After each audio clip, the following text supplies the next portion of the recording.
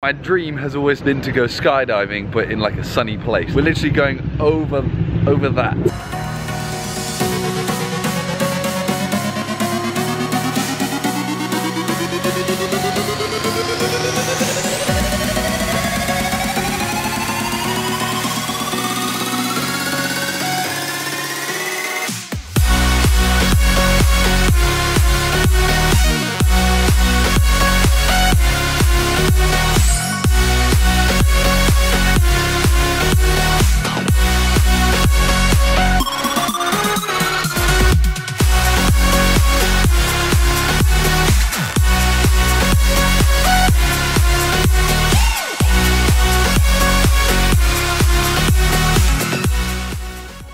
That was so much. I'm so happy right now. How was I'm it? so happy right now.